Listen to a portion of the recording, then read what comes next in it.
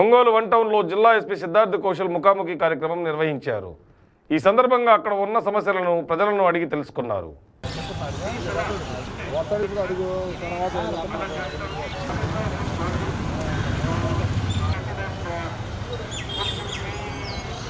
మీకు లాభం ఏమైనా జరుగుతూ ఉంది. ఇలాంటివి విషయాలన్నీ డిస్కస్ చేయడానికి మీ సలహా ఆరు గంటలకు రావాలని చెప్పి ఇక్కడ ఈ లొకాలిటీ పీపుల్ అందరూ కూడా చెప్పడం జరిగింది.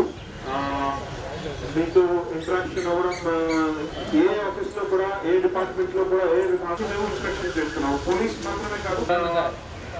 వేరే ఆలోచనతో భాగంగానే రకరకాల పబ్లిక్ రిలేషన్ యాక్టివిటీస్ అలాగే అవేర్నెస్ ప్రోగ్రామ్స్ తర్వాత ఈ పబ్లిక్కి ఉపయోగపడే అంటే నేరాల పట్ల అవగాహన ఇటువంటి కార్యక్రమాలు ఎన్నో మాతోటి చేయిస్తూ గత ఒకటిన్నర నెలగా పబ్లిక్లో చాలా కార్యక్రమాలు చేపట్టి చాలా ఫాస్ట్గా మేము పబ్లిక్లోకి వెళ్ళామని చెప్పి అది కేవలం నెక్స్ట్ టైం అయితే ఇంకా కొంచెం అడ్వాన్స్గా చెప్తాము.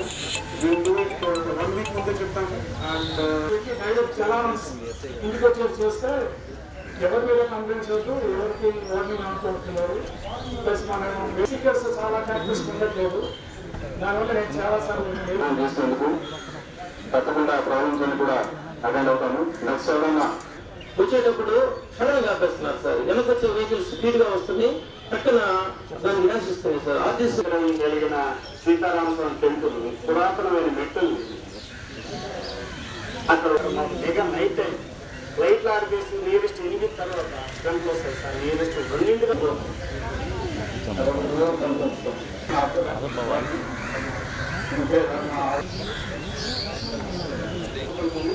మన దాన్ని ఎలా దీన్ని చెప్తే తప్ప అది చాలా విపరీతంగా ఉంచారు దీనికి వారికి మా ప్రణాళిక అవకాశం ఉన్నప్పుడు వాళ్ళకి సత్రం కానీ ఇలాంటివి కూడా మనం చేస్తా ఉన్నట్లయితే వాళ్ళని చేయించుకోవాలి దగ్గరకు వచ్చి అడిగితే వాళ్ళు చేస్తారు గ్యారంటీగా మనం భయపడకూడదు ప్రధానంగా జరుగుతుంది చాలా మంది చాలా మంది అందులో మా పిల్లలు కూడా కష్టం చాలా చక్కగా చెప్పారు బట్ కైండ్లీ డూ సంథింగ్ నా సెఫ్టీ ప్రాబ్లమ్ మాత్రం వాళ్ళకి ఏదో ప్రొవైడ్ జరిగింది. జనరల్ ప్రాబ్లమ్స్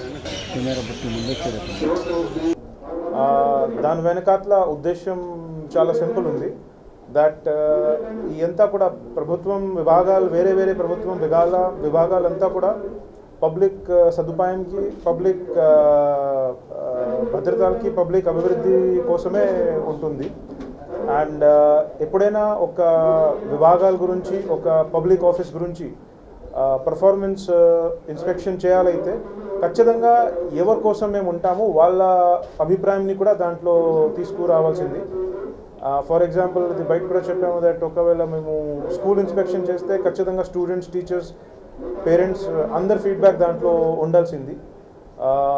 అదేవిధంగా పోలీస్ స్టేషన్ ఇన్స్పెక్షన్ చేస్తే ఆ పరిధిలో ఆ పోలీస్ స్టేషన్ పరిధిలో ఉన్న రెసిడెంట్స్ అండ్ పర్సన్స్ అండ్ ప్రజలు అండ్ జనాలు అందరికీ కూడా దాంట్లో పాల్గొనడానికి అవకాశం ఉండాల్సింది.